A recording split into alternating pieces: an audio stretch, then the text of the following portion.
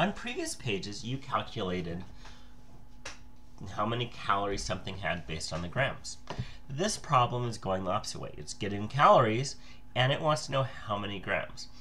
The real reason to do this problem is to make sure you understand the energy density of carbohydrates, fats, and protein. However, there probably are times where you would actually have to calculate this in the future, depending on what your graduate program is.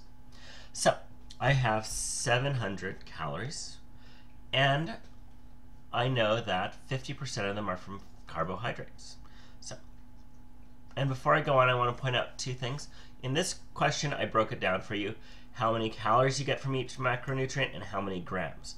So to find the grams, first I need to know how many calories I get from carbohydrates, how many calories I get from fats. So I do the first part, calories from each macronutrient. I have 700 calories. And I know that's 50% of my calories. So 50% of my calories come from carbohydrates. So that would be 0.5 times 700 kcal. Now again, kcal and food calories are the same thing, and that equals 350 kcal. Now for fats, 30%, 700 calories times 30% equals 0.3, that's 30%. I can put the zero if I really want to, times 700 kcal. That equals 240 calories. Or kcal. Or 210 kcal. Sorry about that.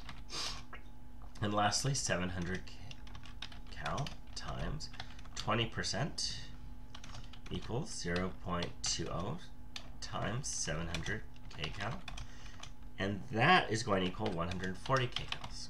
So now I know how many calories I get from each nutrient, and that it adds up to 700. 350 plus 210 plus 140. Now that I know how many calories from each nutrient, I could find the grams from each nutrient. Now, on the test, it might skip this middle section. So it's again, the tests are going to test, can you figure things out? Can you do critical thinking? So let us skip a line and change the color. So I know I have 350 kcal from carbohydrates. Now my energy density, let's put that over here, is 4 kcal per gram. I want to get rid of kcals. So that means I divide. So I'm going to give a little underline here.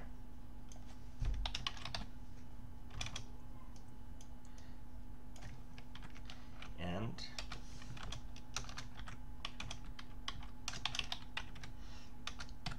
4 kcal per gram. So that is actually going to equal, if I do the math, 350 kcal times grams over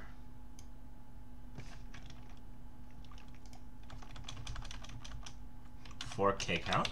And look, kilocalories are going to cancel out. And I get left with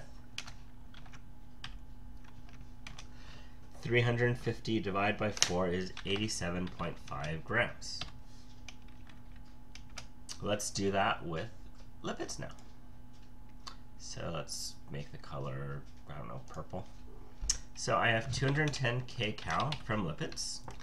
And I know that the energy density from lipids is 9 kcal sorry, per gram. And that gives me 210 kcal times grams over 9 kcal. Again, nicely, kcals cancel out, and I am left with 23.33 grams.